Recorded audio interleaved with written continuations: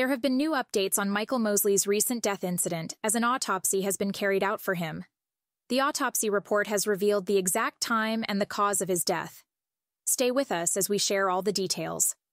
Michael Mosley, who went on a holiday to Agios Nicholas Beach in Greece with his wife and friends, has now been confirmed dead.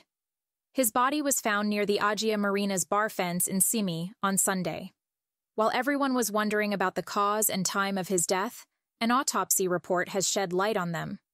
According to the autopsy report carried out on Monday, 10th of June, Michael died on Wednesday at around 4 p.m. It means he died on the same day, just a few hours after he left the beach. The report also suggests that he had rested his hand on the terrace before something terrible happened to him. Previously, there were speculations that Michael could have fallen into the sea due to excess heat. Now, the autopsy report clarified that he collapsed due to heat. However, the doctors failed to conclude the exact cause of his death, as his body condition made it difficult to find the real cause.